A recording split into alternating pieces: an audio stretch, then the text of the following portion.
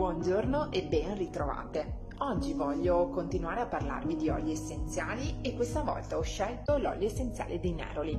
L'ho scelto perché lo trovo molto adatto a questo periodo, quindi se lo avete nella vostra dispensa rispolveratelo.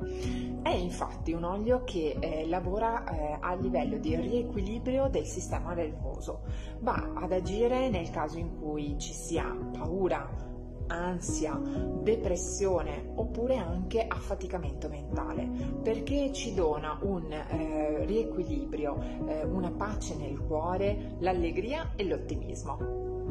Ci dona calma quando eh, i nostri pensieri sono in confusione e ci rafforza a trovare una soluzione quando invece non riusciamo a trovare una via d'uscita.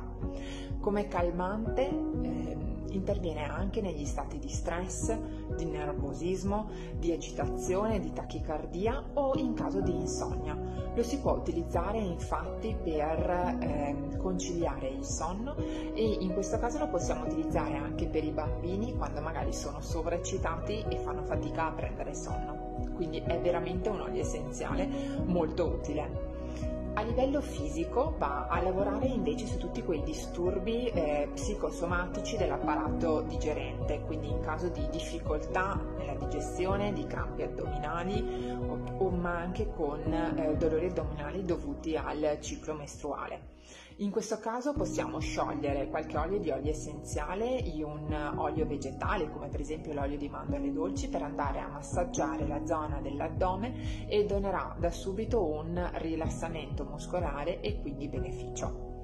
Sempre a livello di pelle, ok, è utile perché va a rigenerare eh, le cellule.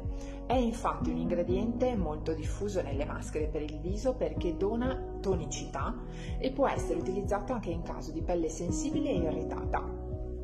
Spero di esservi stata utile, continuate a seguirci per altre pillole di benessere perché noi ci siamo. Ciao ciao!